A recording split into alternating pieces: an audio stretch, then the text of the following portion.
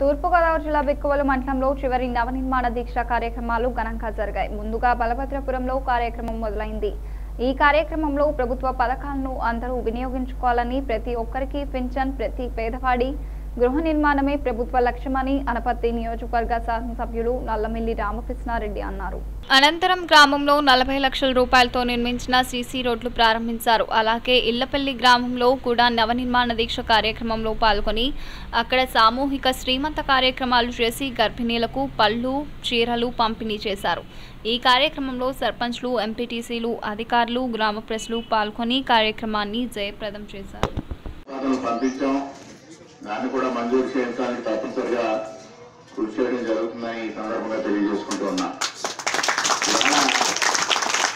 ఏదైతే ప్రజల యొక్క సమస్యలు ఉన్నాయో ఆ సమస్యల్ని సమూలంగా పరిష్కరించడం కోసమే ఇవాళ చంద్రబాబు నాయుడు గారు కృషి చేయడం జరుగుతూ ఉంది. మీరు కూడా ప్రభుత్వం ఏదైతే పథకాలు ఇస్తా ఉందో ఆ పథకాలన్నింటినీ సద్వినియోగం చేసుకుని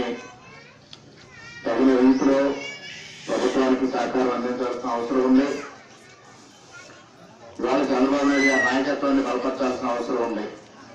ఇవాళ ఇంత పెద్ద ఎత్తున అభివృద్ధి కార్యక్రమాలు కానీ సంక్షేమ చంద్రబాబు నాయుడు గారి యొక్క సమర్థ నాయకత్వం వల్ల మాత్రమే జరుగుతూ ఉన్నాయి.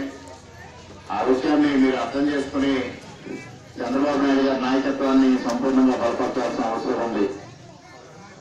ఇవాళ ప్రతి చిన్న విషయాన్ని కూలంకషంగా ఆలోచించి విశ్వసిస్తారో ఆ కార్యక్రమాలనే చంద్రబాబు నాయుడు గారు తీసుకుని అమలు చేయడం జరుగుతూ ఉంది.